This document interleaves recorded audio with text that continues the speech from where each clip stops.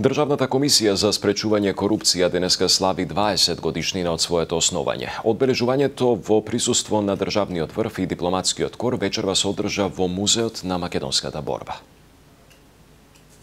Не смееме да бидеме ниту глуви, ниту слепи на укажувањата на нашите пријатели од Европа и Америка кога велат дека корупцијата во Република Северна Македонија е присутна во сите пори, а земјата мора да најде начин да ги разбие заднинските политички мрежи што возможуваат цветање на корупцијата.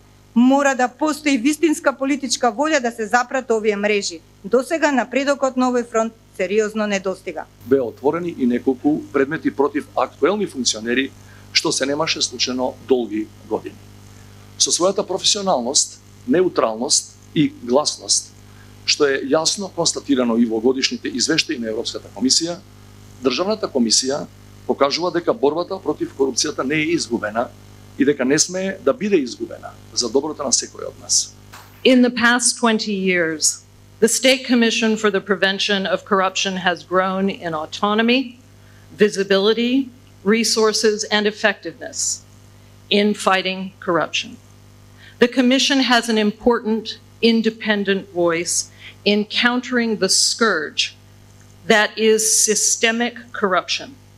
Through its work, it can be instrumental in changing behaviors, expectations, and the toll this cancer has on the people, the society, and the economy of this country.